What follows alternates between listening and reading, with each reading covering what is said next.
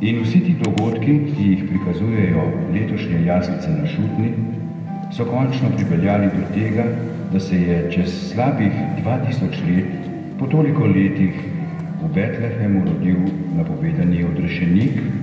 ki je išel iz rodu Izraela. Zato se skupaj ozrimo proti revni betlehemski štalici,